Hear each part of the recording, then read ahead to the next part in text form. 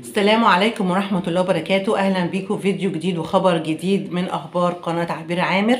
آه يا ريت الاشتراك في القناة وتفعيل الجرس على الكل عشان كل جديد بعمله يوصل لحضراتكم. ما تنسوش تحطوا اللايك فضلا وليس أمرا وتعالوا معايا على الخبر.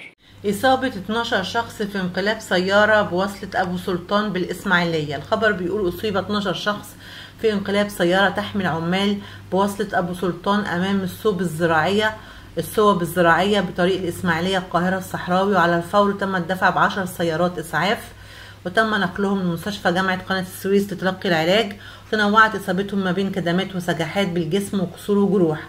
تلقى اللواء منصور لاشين مساعد وزير الداخلية مدير أمن الإسماعيلية إختار من الدكتور حسن درويش مدير مرفق إسعاف الإسماعيلية. يفيد انقلاب سيارة تحمل عمال بوصلة أبو سلطان أمام الصوب الزراعية بطريق الإسماعيلية القاهرة الصحراوي وأسفر الحادث عن إصابة 12 شخص. وعلى الفور دفع مرفق إسعاف الإسماعيلية 10 سيارات إسعاف وتم نقلهم لمستشفى جامعة قناة السويس تلقي العلاج. وكان وقال مصدر طبي إن المصابين مقيمين في مركز ومدينه أبو كبير في محافظة الشرقية وتنوعت إصابتهم زي ما قلت بين كدمات وسجحات بالجسم وكسور وجروح وتحرر المحضر بالواقعه